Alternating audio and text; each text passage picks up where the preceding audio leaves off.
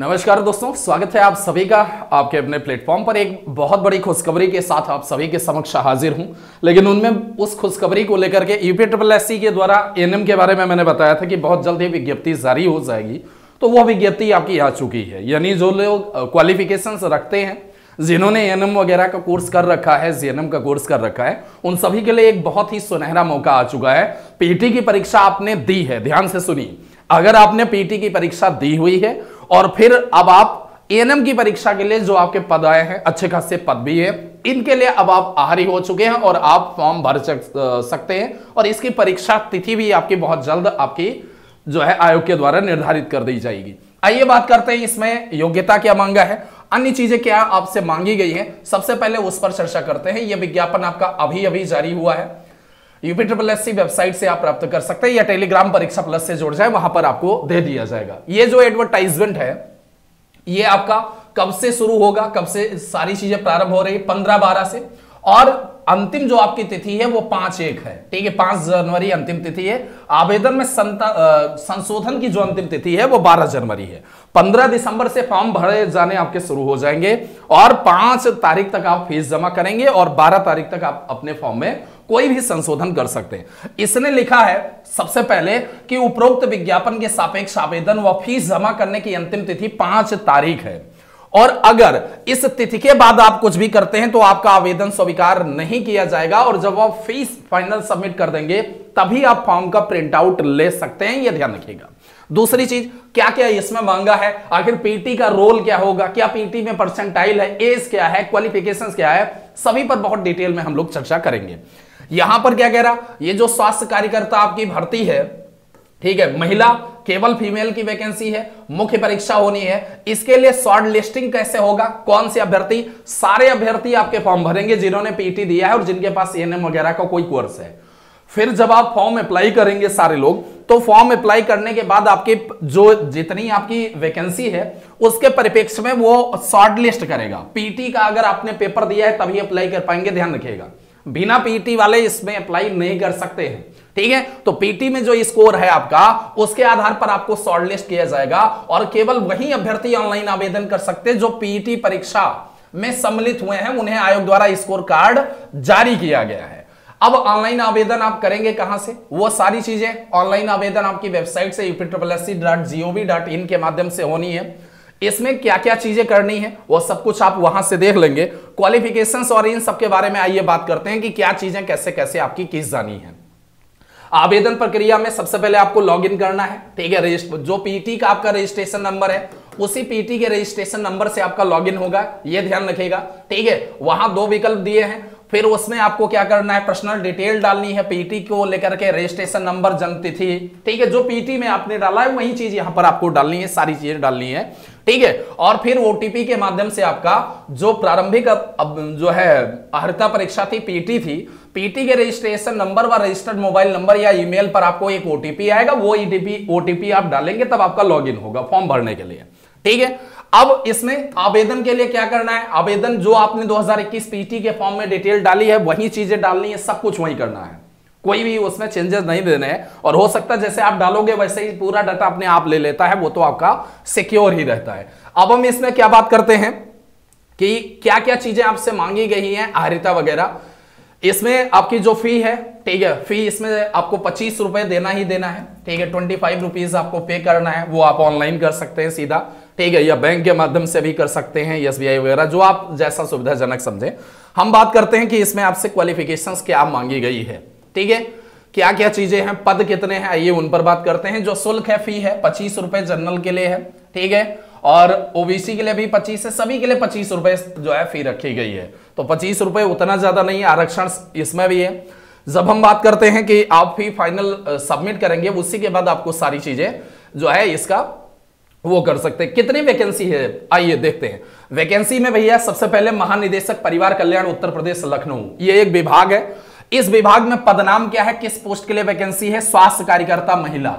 महिला स्वास्थ्य कार्यकर्ता, ये जो वेतनमान है पे ग्रेड है, ये इक्कीस हज़ार, ठीक है, कुछ से शुरुआत हुई है और आपका लगभग उनहत्तर हज़ार सौ, ठीक है। लेवल थ्री मैट्रिक्स का वेतन अच्छा खासा वेतन हो गया।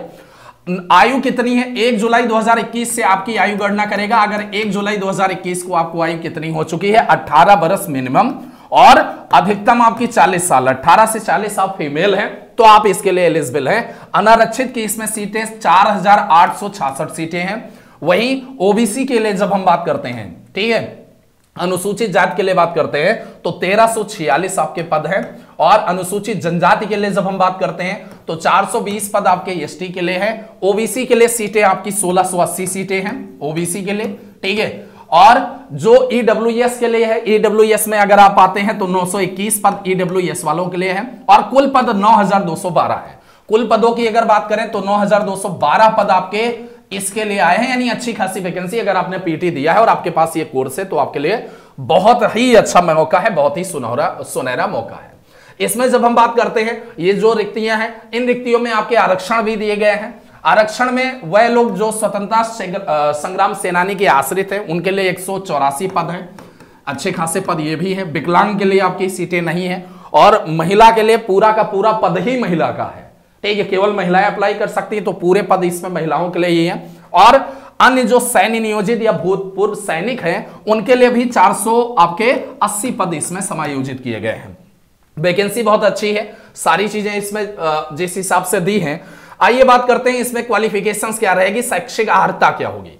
तो जब हम शैक्षिक आहारता की बात करते हैं तो इसमें जो स्वास्थ्य कार्यकर्ता महिला है, इनके लिए आपको क्या क्या चाहिए? देखिए, अभ्यर्थी ने माध्यमिक शिक्षा परिषद उत्तर प्रदेश की इंटरमीडिएट परीक्षा या उसके समकक्ष सरकार द्वारा मान्यता प्राप्त कोई परीक्षा उत्तीर्ण को हो। यानी ट्वेल्थ आपका उत्तीर्ण होना चाहिए। दूसरी चीज़, भारतीय परिचर्चा परिषद के संयमों के अनुसार एक वर्ष छह माह या दो वर्ष का सहायक नर्सेज एंड मिडवाइफ्स एएनएम प्रशिक्षण पाठ्यक्रम, यानी प्रसूत से संबंधित छह माह का प्रशिक्षण सहित।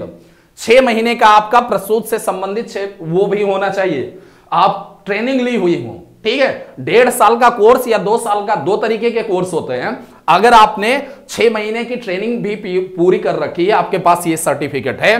तो आप ट्वेल्थ के साथ इसको क्या कर सकते हैं? अप्लाई कर सकते हैं। ट्वेल्थ होना चाहिए और एनएम का अगर आपने कोर्स कर रखा है तो चाहे डेढ़ साल वाला, चाहे दो साल वाला, ठीक है? उसमें आपका इंक्लूड होना चाहिए प्रसूत से संबंधित छह महीने की जो ट्रेनिंग पीरियड होती है, वो इन्वॉल्व होना चाहिए, ठीक है? अन्य चीज़ें क्या है? जब किसी के नंबर बराबर होंगे तो वो उसमें अधिमानी हरिता दी जाती है, किसका चयन किया जाएगा?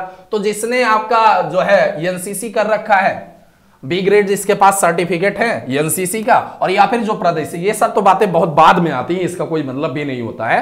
ठीक है, इसमें अभ्यर्थी ही मिल जाए वही तो बहुत बड़ी बात है, आयु सीमा आयु सीमा के लिए उस कैलेंडर वर्ष, यानी एक जुलाई 2021 ठीक है, एक जुलाई 2021 को अगर आपकी उम्र 18 साल है न्यूनतम, और अधिकतम अगर उम्र इस दिन देखा जाए, अगर आपकी उम्र 40 वर्ष है, ठीक है 40 से ज़्यादा नहीं होनी चाहिए तो आप इन सभी के लिए एलिजिबल हैं, ठीक है।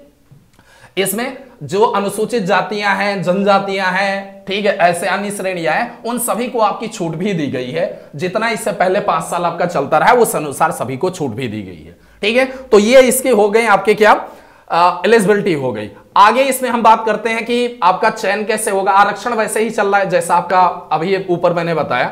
जब इसमें बात करते हैं कि चयन का आधार कैसे होगा, रिटर्न आपका एग्ज़ाम होना है, सिलेबस इसका पहले आया था, मैंने उसको, सिलेबस को एक वीडियो में बताया था। ठीक है? इसके कोर्सेज के लिए अगर आप लोग तैयारी कर रहे हैं तो नीचे कमेंट बॉक्स में आप कमेंट करिएगा। इसके कोर्सेज उपलब्ध कराए जाएँगे। जो जो लोग तैयारी कर रहे हैं, आपको तैयारी करनी है मेंस की, जितना आपका पाठ्यक्रम दिया गया है, वो उस पाठ्यक्रम के लिए संस्थान के द्वारा कोर्स चलाया जाएगा। आप सारे लोग नीचे कमेंट करते चले जाएँ। ठीक ठीक है कि हमें कोर्स ज्वाइन करना है, या संस्थान के नीचे नंबर चल रहे हैं, उन नंबर पर आप जो है कॉल कर लीजिए।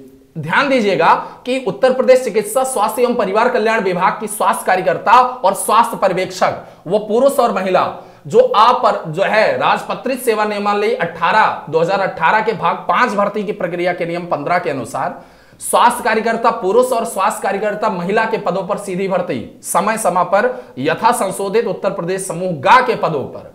सीधी भर्ती नियमावली 2015 के अनुसरण में यह पूरी प्रक्रिया होनी है। ठीक है? चिकित्सा, स्वास्थ्य, परिवार कल्याण विभाग जो आपका है उत्तर प्रदेश, इसमें जो लोग संविदा के आधार पर काम कर रहे थे, ठीक है? जो सहायक नर्स मिडवाइफ कॉन्ट्रैक्ट बेसिस पर आपके कार्य कर रहे थे, अधिकतम पंद्रह अंकों का आपको क्या मिलेगा? वहाँ अधिन आपको अधिमानी अंक दिए जाएँगे। तो जो लोग कॉन्ट्रैक्ट बेसिस पर इस समय काम कर रहे थे, उनके लिए एक बड़ी खुशखबरी है। अगर आपने पीटी दिया है तो ठीक है? संविदा के आधार पर पूर्ण की गई सेवा के प्रथम वर्ष के लिए तीन अंक आपको देना है, अगर आपने एक साल। अगर आपने संविदा के लिए अगले साल यानी दो, दो साल संविदा पर काम किया है तो उसके लिए आपको प्रत्येक वर्ष तीन तीन अंक दिए जाने हैं। ठीक है? यानी पंद्रह नंबर आपके अधिमानी अहर्ता दी जाएगी जो लोग कॉन्ट्रैक्ट बेसिस पर काम कर रही थी। ठीक है? बहुत अच्छी खबर है वाकई ये चीज़। फिर हम इसमें बात करते हैं शैक्षिक अर्हता हो गई एलिजिबिलिटी हो गई, कितने सवाल आपसे पूछे जाएँगे? तो सवाल के लिए आपका सौ प्रश्न आना है, ठीक है? विषय आपसे, विषय से पूछे जाएँगे और उनके लिए सौ अंक है, दो घंटे 120 मिनट का आपको समय दिया जाएगा परीक्षा के लिए। आपकी ऑफलाइन परीक्षा होती है, यानी पेन पेपर पर परीक्षा देनी है ओमार पर आपकी और 120 मिनट का आपके सौ सवाल होते हैं। पाठ्यक्रम के लिए आप पुरानी वीडियो देख सकते हैं या परीक्षा प्लस का टेलीग्राम चैनल ज्वाइन कर लीजिए, उस पर ये पूरी पीडीएफ डाल दी जाएगी। वहाँ से आप लोग पीडीएफ प्राप्त कर लें और आपको ये कोर्स ज्वाइन करना है तो उसके लिए नीचे कमेंट बॉक्स में आप कमेंट करते जाएँ। वहाँ पर आपको कोर्स से संबंधित सारी चीज़ें बता दी जाएँगी। या फिर आप कोर्स के लिए संस्थान के नंबर पर आप कॉल करके जानकारी ले सकते हैं। संस्थान के इस नंबर दोनों नंबर पर आप कॉल या व्हाट्सएप के माध्यम से जानकारी पूछ सकते हैं। ठीक है? इन दोनों नंबर पर आप कॉल कर सकते हैं या नीचे कमेंट बॉक्स में आप जो है ज़रूर एक बार ये डालिए कि मुझे सर कोर्स ज्वाइन करना है, इसकी प्रक्रिया क्या है, वहाँ पर आपको बता दी जाएगी। या आप संस्थान के नंबर पर कॉल कर लें, इसकी पीडीएफ के लिए, अन्य अपडेट के लिए परीक्षा प्लस का टेलीग्राम चैनल ज़रूर ज्वाइन कर लीजिए और चैनल को आप सब्सक्राइब कर लीजिए, इससे आगे कोई भी जानकारी पाने के लिए। सभी का बहुत बहुत धन्यवाद।